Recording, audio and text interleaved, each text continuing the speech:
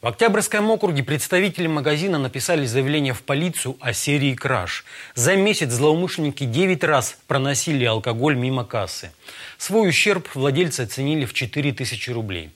Оперативники изучили записи камер наблюдения и установили, что кражи совершает один человек – 47-летний мужчина ранее был многократно судим за имущественные преступления и за торговлю наркотиками.